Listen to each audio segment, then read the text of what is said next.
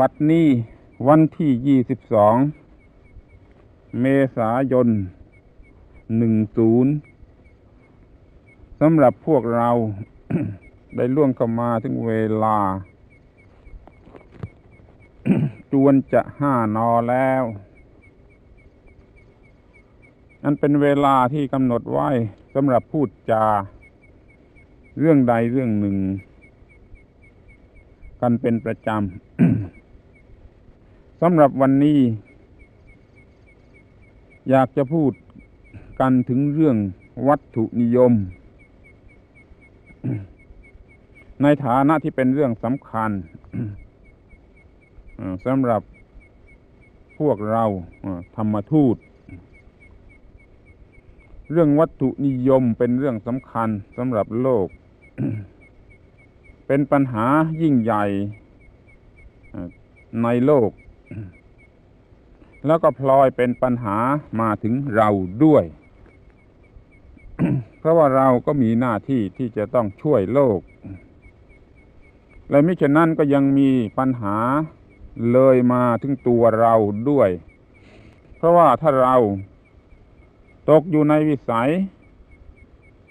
ของวัตถุนิยม เราก็จะเป็นธรรมทูตที่ล่มละลาย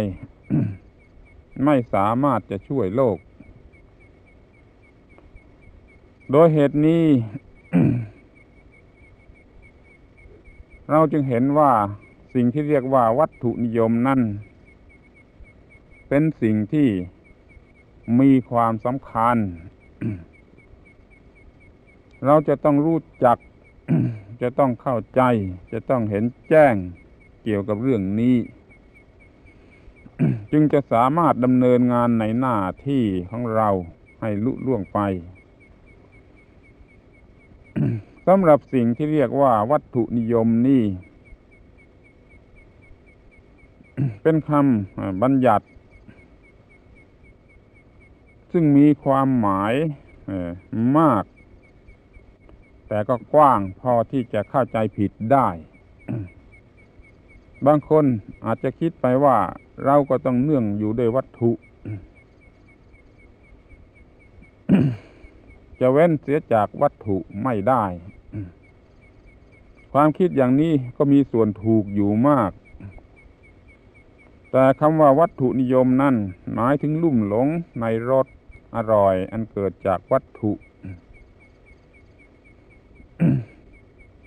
เมื่อพูดถึงรสอร่อย ก็เป็นสิ่งที่เกิดได้ทั้งจากวัตถุและจากอวัตถุ คือไม่ใช่วัตถุ คือเรื่องทางจิตหรือทางนามธรรม หรือเรื่องทางธรรมโดยเฉพาะ หรือแม้แต่เรื่องของการทำลายวัตถุเสีย ก็เรียกว่าอวัตถุด้วยเหมือนกัน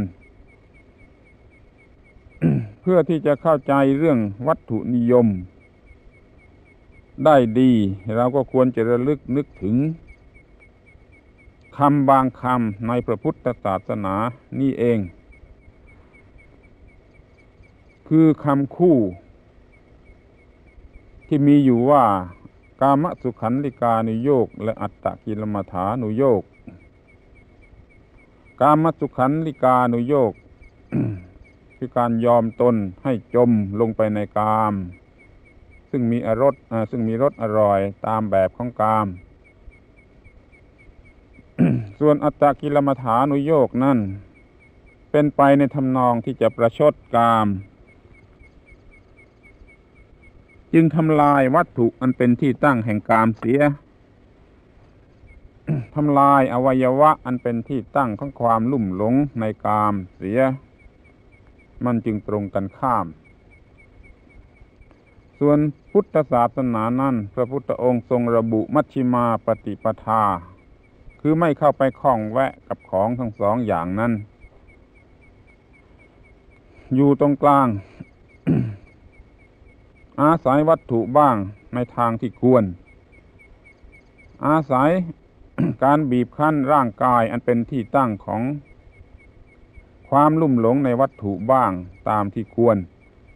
อย่างนี้เรียกว่าอยู่ตรงกลาง และข้อนี้เองเป็นเหตุให้เราจับหลักพระพุทธศาสนาได้อย่างหนึ่ง ว่าตรงตามที่พระพุทธองค์ตรัสว่าไม่มีอะไรที่จะบัญญัติลงไปได้ โดยส่วนเดียว คือจะไม่ถือว่าอะไรดีอะไรถูก โดยการบัญญัติลงไปโดยส่วนเดียวจะต้องมีข้อแม้ หรือเหตุผลประกอบ เป็นรายรายเรื่องเรื่องเป็นกรณีกรณีไป อย่างนี้เรียกว่าอยู่ตรงกลาง วัตถุนิยมจึงเป็นเรื่องสุดโตรงฝ่ายข้างหนึ่ง จะเรียกว่าฝ่ายซ้ายก็ได้ ส่วนอวัตถุนิยม หรือการมสุขันธิการนโยกก็เป็นไปสุดโตรงอีกข้างหนึ่ง ซึ่งจะเรียกว่าฝ่ายขวาก็ได้ มีชื่อบางชื่อเรียกลัทธินี้หรือคำคู่คู่นี้ว่า อาคาลหะปฏิปทา และนิชชามะปฏิปทา อาคาลหะปฏิปทาก็หมายถึงกามสุขันธิกานุโยก แต่ในที่นี้เรียกอาคาลหะปฏิปทา การกระทำหรือการปฏิบัติ ที่เปียกชุ่มเกินไป นิชามะปฏิปทา ก็คือการปฏิบัติที่เผาไหม้แห้งแรงมากเกินไป ชุ่มเกินไปก็ไม่ไหวแห้งเกินไปหรือเผาไหม้ไปเลยก็ไม่ไหว จะต้องอยู่ในระดับกลาง อาคารหะปฏิปทาในที่นี้ก็คือวัตถุนิยมหลงไหลในรสอร่อยของวัตถุ ส่วนนิชชามะปฏิปทาก็อยากจะเผาให้หมดไปเสียทีเดียว ก็เลยไม่ได้อะไรอีกเหมือนกัน ถ้าได้ก็จะเป็นความเผาที่ถูกเผาแห้งไปเท่านั้น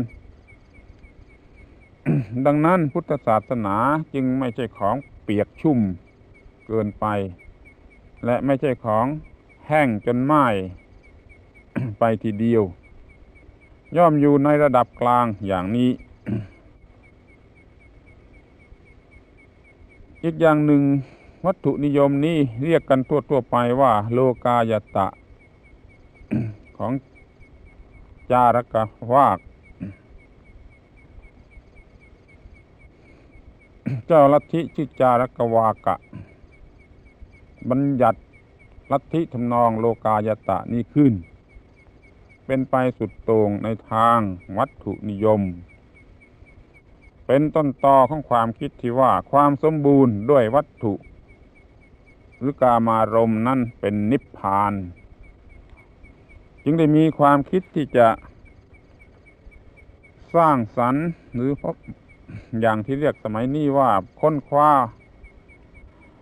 พัฒนากันให้เต็มที่ในทางกามารมถึงจุดสุดเมื่อใดแล้ว จิตก็หยุดความต้องการและเป็นนิพพานถือเอากามารมเป็นนิพพานนี้ก็มีอยู่ ทั้งหมดนี้เรียกว่า วัตถุนิยม เป็นตัวอย่างของวัตถุนิยมที่เอารสอร่อยของวัตถุมา เป็นสิ่งประเสริฐสุด ที่นี้คำว่าวัตถุนิยมยังหมายกว้างได้ไปกว่านั้น คือว่าเป็นผู้สนใจแต่เรื่องทางวัตถุเท่านั้น ไม่ถือว่ามีเรื่องอื่นอีกแล้ว เลยบัญญัติเอา เลยเอาวัตถุนั่นแหละ เป็นเครื่องมือสำหรับบัญญัติกฎเกณฑ์ต่าง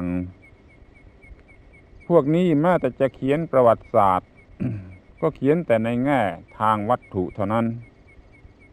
ไม่ได้มีความรู้สึกหรือบันทึกเกี่ยวเรื่องเกี่ยวกับจิตใจไว้ด้วยเลยแม้จะไม่เกี่ยวกับความลุ่มหลงในรสอร่อยของกามารมพวกนี้ก็ยังถูกเรียกว่าเป็นวัตถุนิยมอยู่นั่นเองคำว่าวัตถุนิยมจึงมีความหมายดิ่งตรงไปยังกลุ่มของวัตถุ ถึงตัววัตถุเองก็ได้ กฎเกณฑ์ต่างๆ เกี่ยวกับวัตถุก็ได้ ผลที่จะเกิดขึ้นจากวัตถุก็ได้ เรียกว่าวัตถุนิยมไปหมด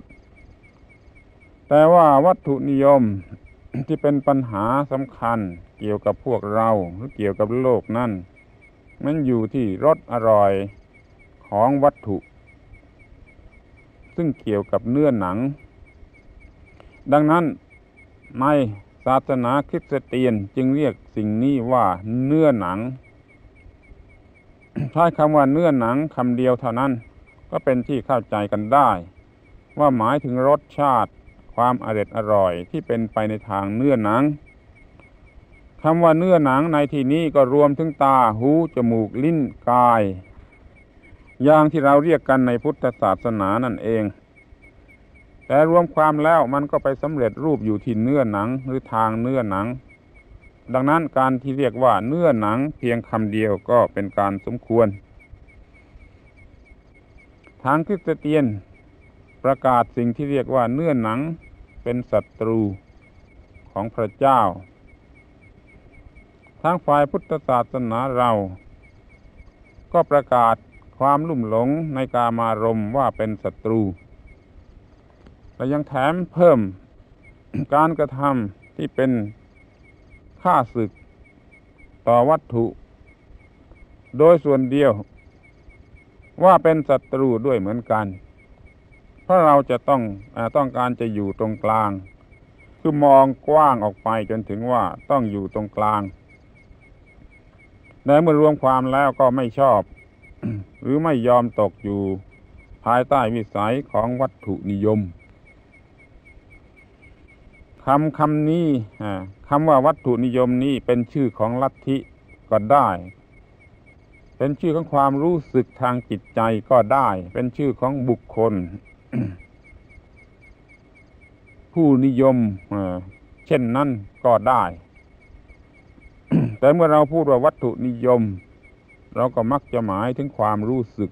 หรือลัทธิมากกว่าอย่างอื่น เช่น dialectic materialism ก็หมายถึงลัทธิที่เป็นต้นกำเนิดของคอมมิวนิสต์หรือเป็นรากฐานของลัทธิคอมมิวนิสต์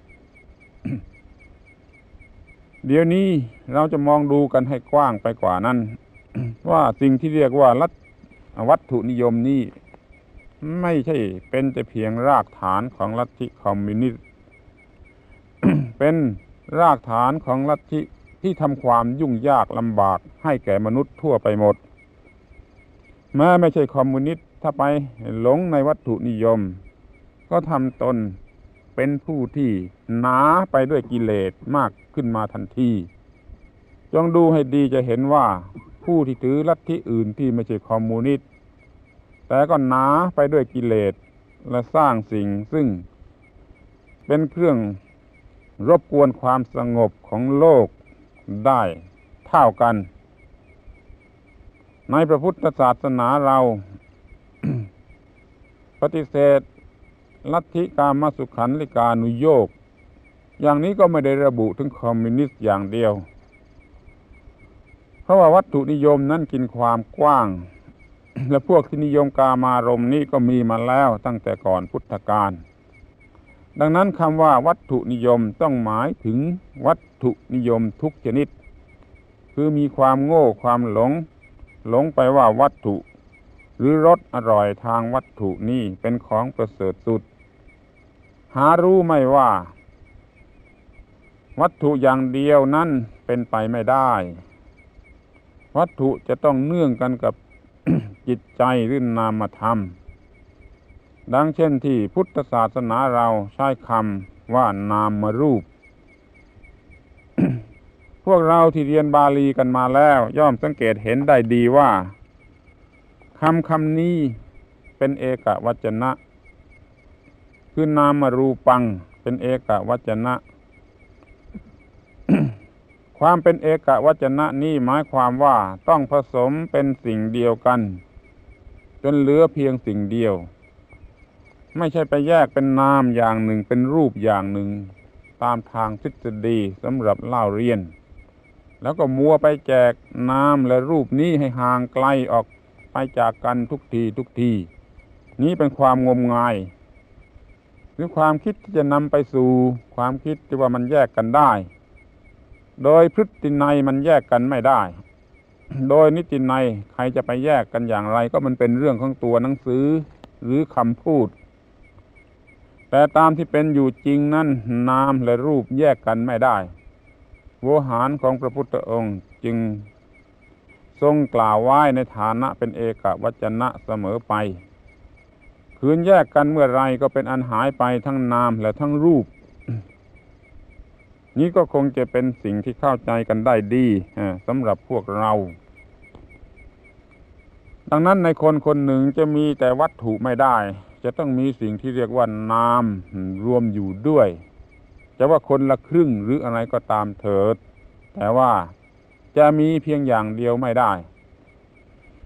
พวกที่ไปเห็นว่าสำคัญเพียงส่วนเดียวสำคัญเพียงอย่างเดียว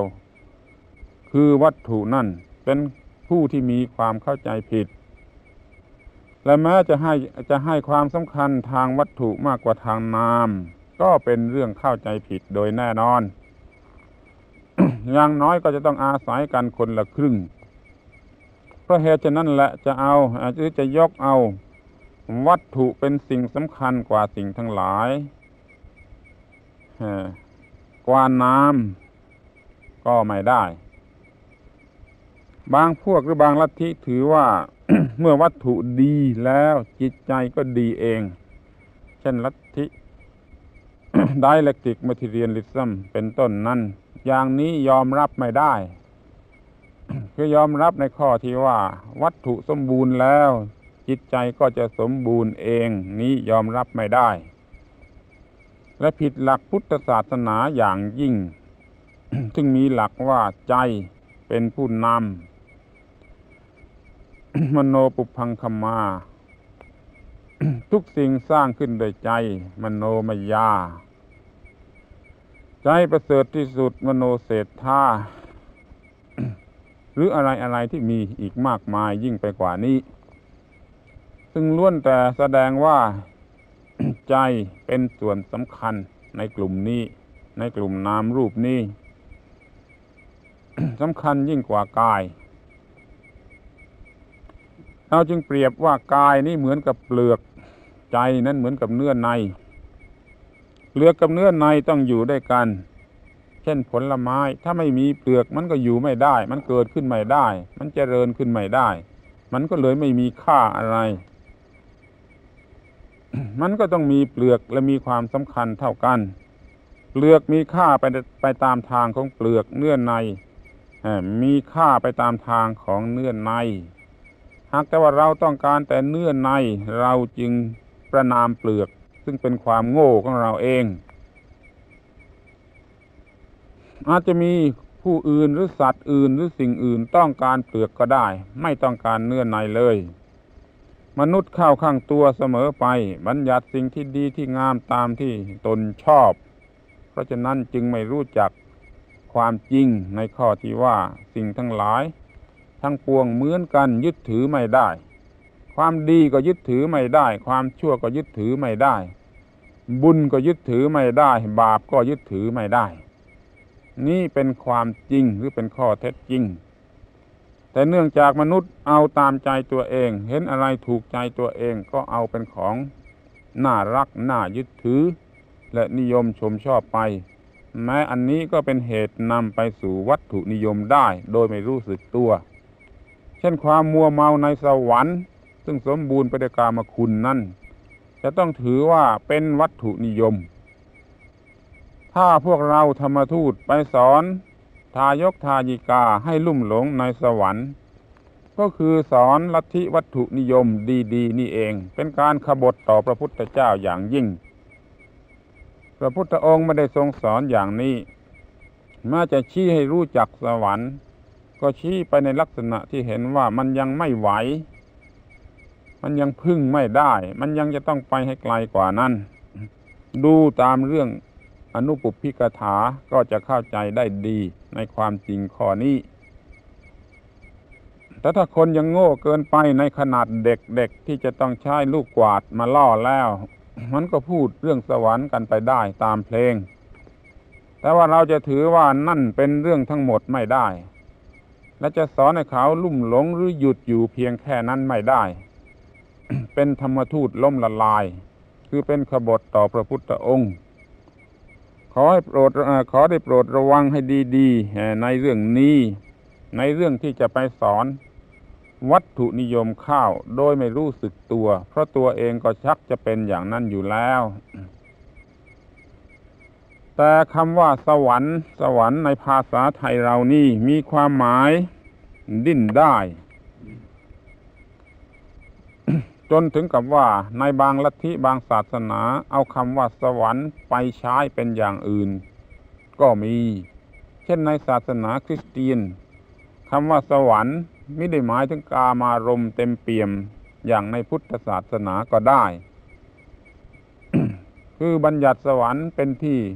อยู่ของพระเป็นเจ้า แต่ไม่เกี่ยวกับกามารมอย่างนี้ก็มี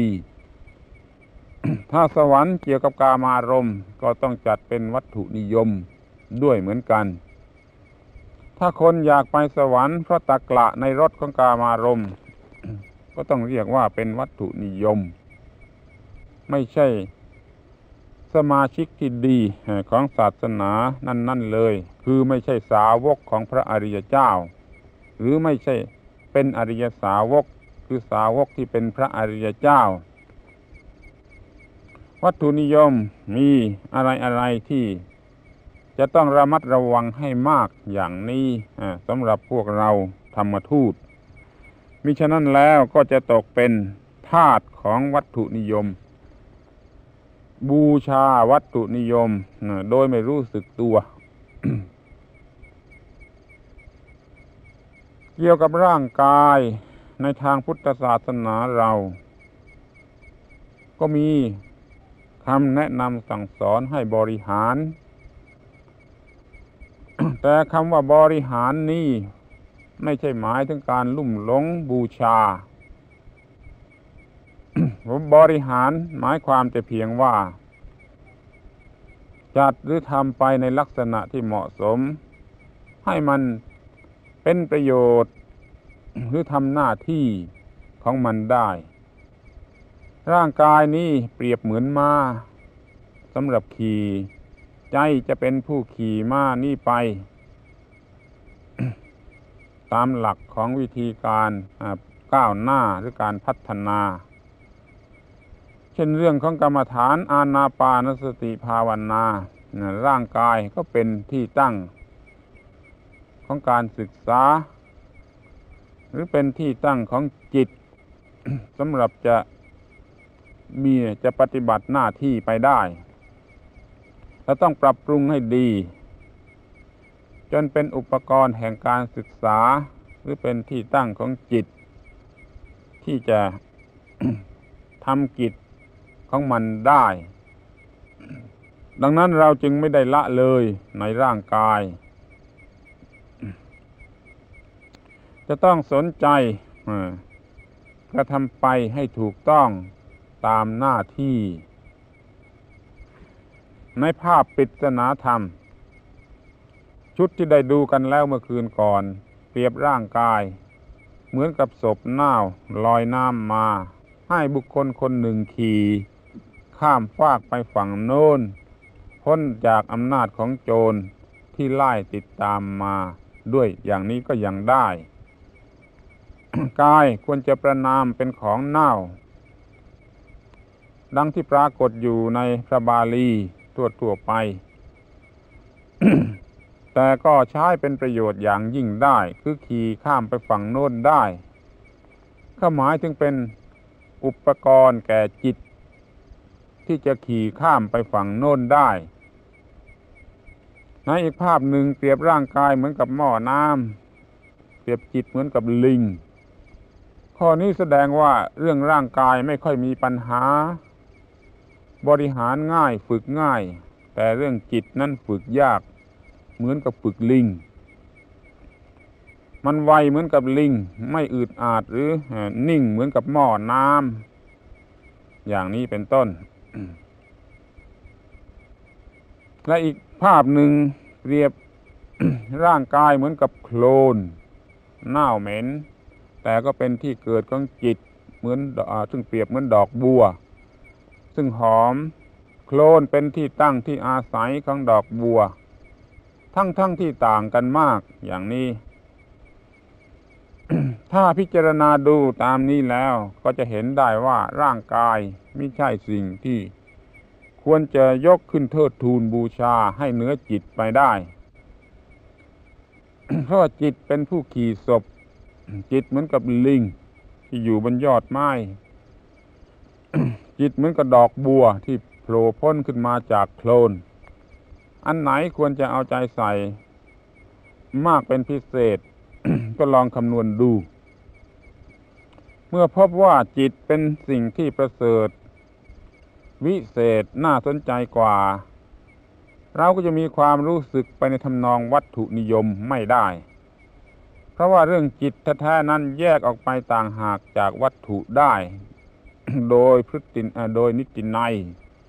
และคำว่าจิตในที่นี้ก็ไม่ได้หมายถึงจิตที่ติดเนื่องกันอยู่กับร่างกายจนเป็นธาตุของร่างกาย แต่หมายถึงจิตที่แยกออกไปได้ ในลักษณะที่เหมือนกับดอกบัว แยกออกไปจากโคลนไม่ได้อยู่ภายใต้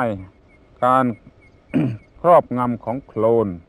มันจึงสะอาดได้สวยได้หอมได้ เป็นสิ่งที่น่าปรารถนาได้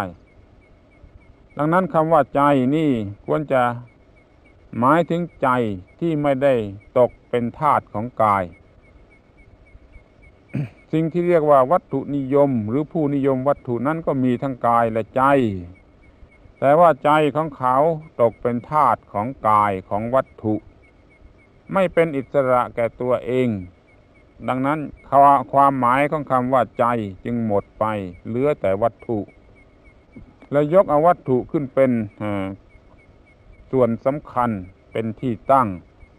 จึงถูกเรียกว่า ถูกเรียกว่าวัตถุนิยม เพราะเหตุนี้ ทีนี้ในทางที่ตรงกันข้าม ก็เอาใจเป็นประธานเป็นหลักสำคัญ ไม่ให้วัตถุหรือกายมามีอำนาจเนื้อ เรื่องก็เดินไปกับไปคนละทางคือใจนี่มีสภาพเป็นของรู้หรือความรู้ ไม่งั้นเราก็ไม่เรียกว่ามโน มโนมีความหมายว่ารู้ รู้ก็คือรู้จัก กระทั่งรู้เท่าทัน กระทั่งรู้จริง อย่างนี้มันก็ต้องเดินไปในทางที่ถูกต้อง ไม่ใช่หลับตา มันจึงรู้ว่าอะไรควรจะเป็นอย่างไร นี่แหละเป็นต้นกำเนิดของลัทธิทางจิตใจ ที่เกิดขึ้นมาในโลกนี้ได้ ทั้งๆทที่โลกนี้ตั้งต้นขึ้นมาโดยวัตถุ ถ้าเราจะเรียนเรื่องธรณีวิทยา เราจะรู้ว่าโลกตั้งต้นขึ้นมาโดยวัตถุ เป็นวัตถุที่แยกตัวออกมาจากดวงอาทิตย์ หรือว่ารวมตัวเข้มข้นขึ้นมา จากเนมบูล่าจากกาเล็กซี่อะไรก็ตาม มันก็เป็นเรื่องวัตถุทั้งนั้น และถ้าจะเรียนเรื่องชีววิทยาต่อมาก็จะพบว่ามันตั้งต้นขึ้นมาโดยวัตถุก่อน จึงจะมีชีวะ ซึ่งตกอยู่ใต้อำนาจของวัตถุ แล้วก็ค่อยๆแยกตัวคือพัฒนามา เป็นเรื่องจิตใจมากขึ้น จึงจะมีสัตว์และมีคน เมื่อมีคนแล้ว ในชั้นแรกจะต้องรู้จักแต่วัตถุเป็นธรรมดา อย่างคนป่า สมัยหิน จะรู้เรื่องอะไรทางจิตใจเหมือนคนสมัยนี้ไม่ได้ เพราะฉะนั้นคนในสมัยนั้นเป็นคนทางวัตถุมากกว่า แต่แล้วทำไมลูกหลานของคนพวกนั้นเองมารู้เรื่องทางจิตใจได้ คนเราไม่ได้มาจากไหน คนเราสมัยปัจจุบันนี้ไม่ได้มาจากไหน นอกจากที่จะมาจากคนป่า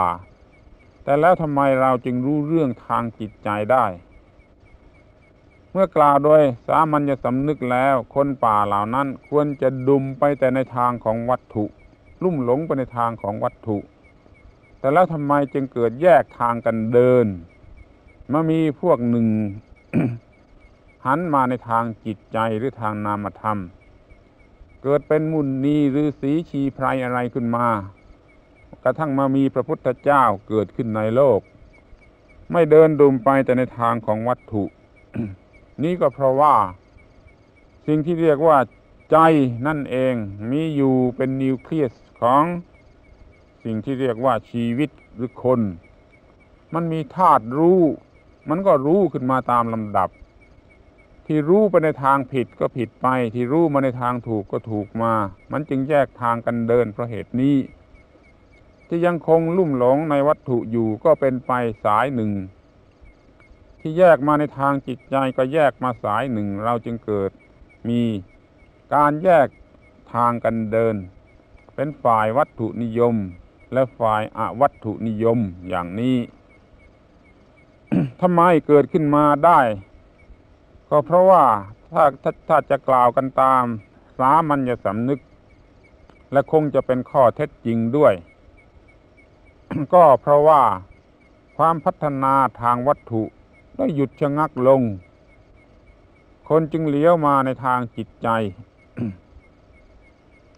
หมายความว่ามีอยู่สมัยหนึ่ง ซึ่งความพัฒนาทางวัตถุได้ไปถึงที่สุดหรือชะงักลง เพราะคนไม่ได้ไปสนใจมาก ไม่ได้ไปลุ่มหลงมาก จึงมาพบฝ่ายวัดฝ่ายจิตใจ ซึ่งมีอะไรน่าสนใจกว่า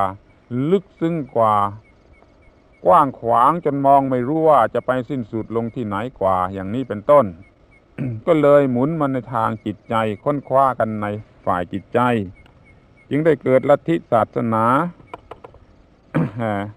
ในทำนองที่เป็นฝ่ายมโนนิยมขึ้นมา ที่นี้มาถึงปัจจุบันนี้ทำไม จึงเกิดวัตถุนิยมอย่างรุนแรงขึ้นมาได้เล่า นี่ก็เพราะว่ามันเป็นเรื่องเผอิญเป็นก็ได้